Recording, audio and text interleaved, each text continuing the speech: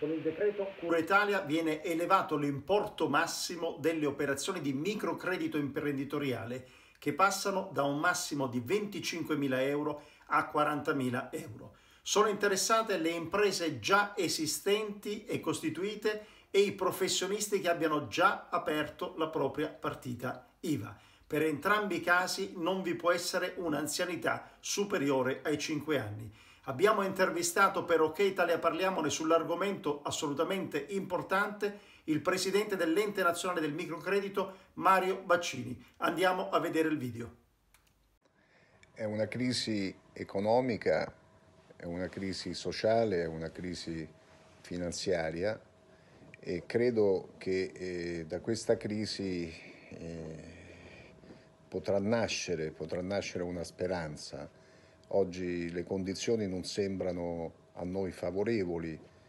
Eh, Covid-19, questa infezione ha messo in ginocchio l'economia mondiale, non solo l'economia europea e nazionale. Eh, noi del microcredito, dell'ente nazionale del microcredito, stiamo operando affinché tutte le microaziende, e voglio ricordare che le microaziende in Italia rappresentano la colonna portante del nostro paese perché eh, rappresentano oltre il 90% non solo della forza lavoro ma anche del fatturato eh, nazionale.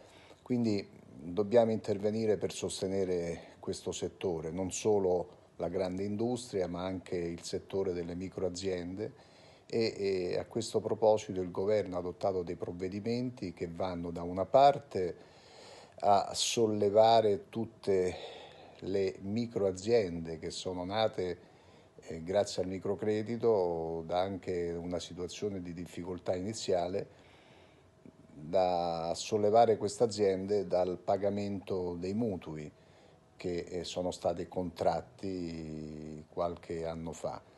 E questo già è una buona notizia perché consente loro di, di non avere ovviamente oneri in questo momento di crisi.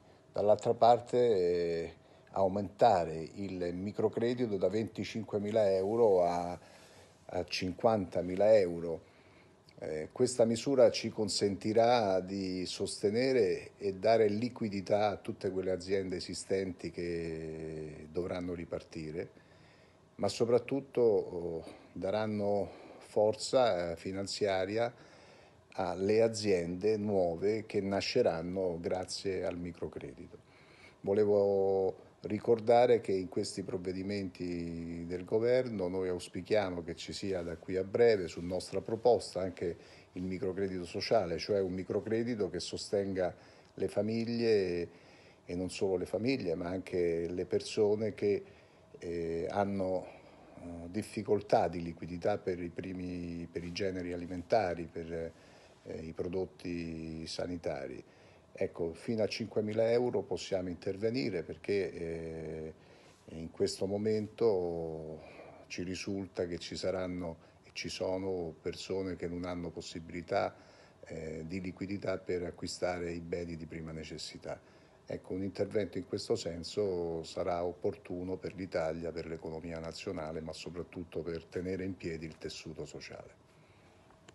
Ringraziamo il Presidente dell'Ente Nazionale del Microcredito, Mario Baccini, per il suo intervento, per aver contribuito a fare chiarezza su questo importante strumento per il rilancio dell'economia del nostro Paese. Appuntamento con voi per i prossimi approfondimenti. A presto.